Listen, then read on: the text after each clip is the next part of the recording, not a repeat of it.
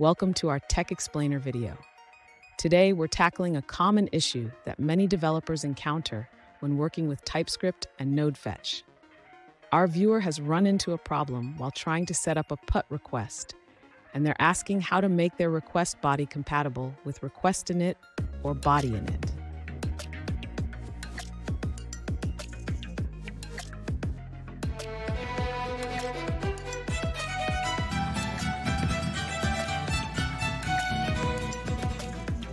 Welcome back to another technical video. Today, we'll go through your question, go through the answers for it, and hopefully that brings you to your solution.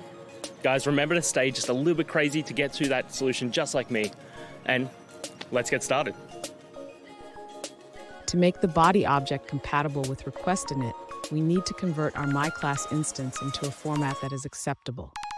The body property in request init can be a string, a buffer, or a readable stream.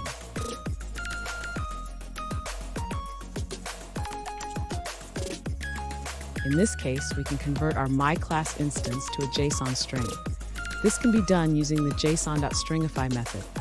Let's update our params object accordingly.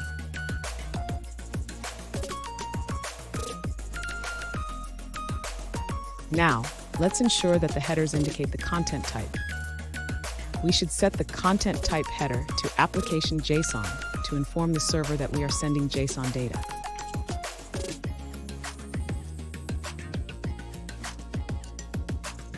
Finally, with these changes, your fetch request should work without any type errors.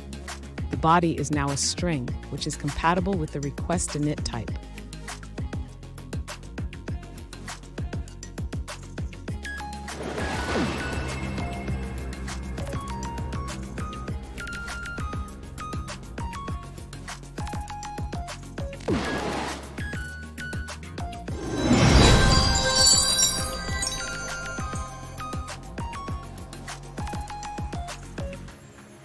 Let's now look at a user-suggested answer.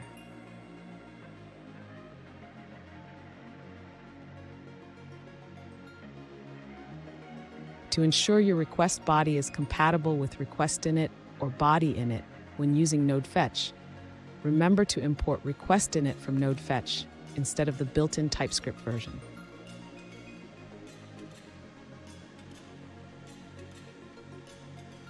Avoid using the built-in TypeScript request init. This can lead to compatibility issues.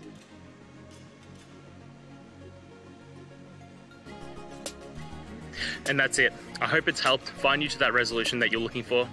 And if it did, please just take a moment, go down, hit subscribe. I'd really appreciate it.